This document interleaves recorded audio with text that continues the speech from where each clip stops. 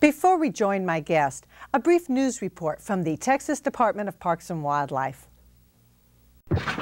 Like any 10 year old, Hunter Johnson likes to play outdoors. But inside Hunter's body lurks a disease that sometimes stops him from doing normal kid stuff. Hunter has Lyme disease, an illness caused by a tick bite. In Texas, Lyme disease is most often transmitted through the Lone Star tick, usually in its nymph stage. Tick season peaks between March and September. To prevent infection, avoid brushy areas and sitting on the ground. Walk in the center of hiking paths. Wear light-colored clothing that makes seeing attached ticks easier. Tuck your shirt into your pants and your pant legs into your socks to keep ticks out. Use an insect repellent containing DEET. Do frequent tick checks while outdoors and a full body check when you return inside. If you do find a tick on you or your pet, remove it carefully with tweezers. Wash your hands afterwards and disinfect the bite area. You can place the live tick in a small vial and take it to the Department of Health to be examined for bacteria. The faster you remove the tick, the less chance you have of contracting Lyme disease. But be aware of the symptoms. Flu-like symptoms, fever, headache, stiff neck, muscle aches, joint pain, with or without a rash. But if they get any of these symptoms anywhere from 3 to 30 days after tick bite, then they should see their physician as soon as possible. Tick-borne diseases in Texas uh, should not be a scary thing. You know, Lyme disease is our most prevalent tick-borne disease in the state, but again, we only have 50 to 100 cases per year uh, that are reported that meet our case definition. If a person knows all of these things and they encounter a tick, they'll know what to do, and they can, they very likely prevent disease transmission and be healthy enough to enjoy the out of doors the next time. Hunter is doing better now, but he will probably have to monitor his disease for the rest of his life. I don't think I ever will ever totally get over it. Near Austin, this is Lydia Saldana reporting. My guest is Dr. Daniel Farb, a practicing ophthalmologist whose activities include e-learning, publishing, writing, and collaboration on hundreds of books and CDs.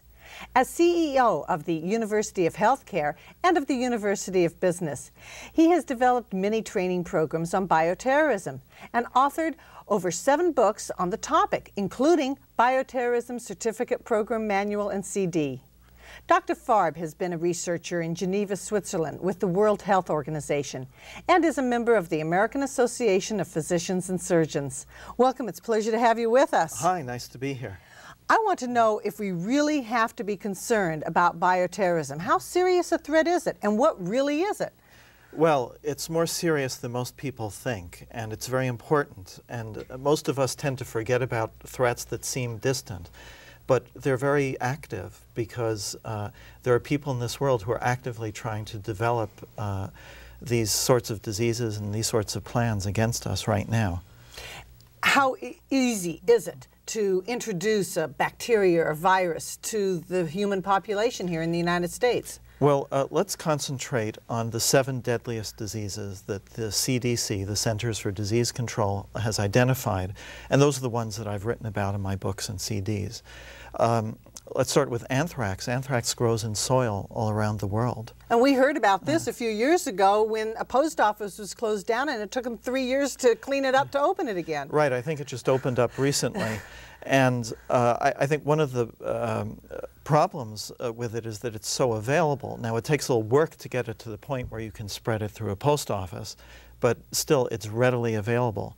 Uh, plague, there are huge reservoirs of bubonic plague throughout the world. Wait, I think of plague as something from the Middle Ages. well, it's still with us, and it's still a very big threat right now. Same plague? Same plague, same organism is still with us. What carries it? Uh, well, rodents and fleas.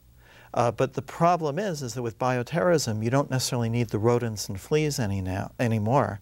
You just need, let's say, an airplane spraying an aerosol with uh, plague uh, germs uh, throughout a city, and you've got maybe tens of thousands of deaths uh, coming on the way. So it's not, uh, it's not exactly middle-aged technology. Now, wait a minute. We're pet lovers in this country. we have a lot of dogs and cats, and they seem to be carriers of fleas. I know I'm using my flea comb for my cat all the time.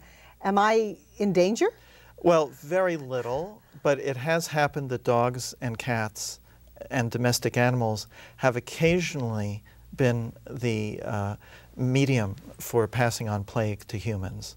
But that's very rare. All of the occurrences we have in the U.S. of plague are very rare.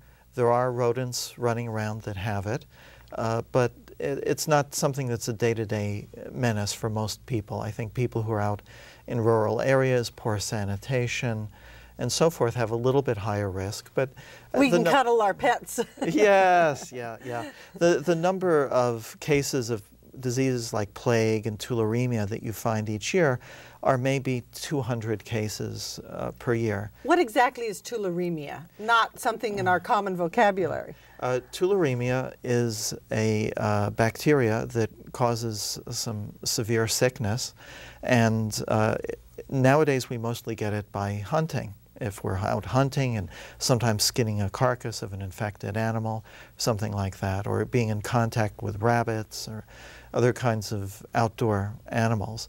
Uh, but again, what's scary about all this is not uh, the occasional contact that comes from uh, animals, and, and that is important to know about. And it's important because it helps one identify early on a case of bioterrorism.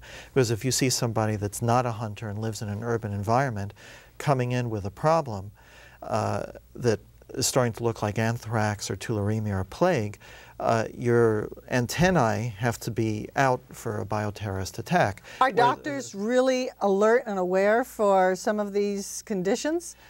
I'd say it's gotten better over the last few years, but in general, the state of preparation in our country is very poor, and uh, most medical professionals, uh, me doctors, nurses, emergency medical people, public health people, have very little knowledge of the specifics. You mentioned uh, seven. Let's name those so we okay. just are real clear okay. what they are. The seven most dangerous problems are anthrax, botulinum, uh, hemorrhagic fever viruses, uh, plague, radiation, smallpox, and tularemia.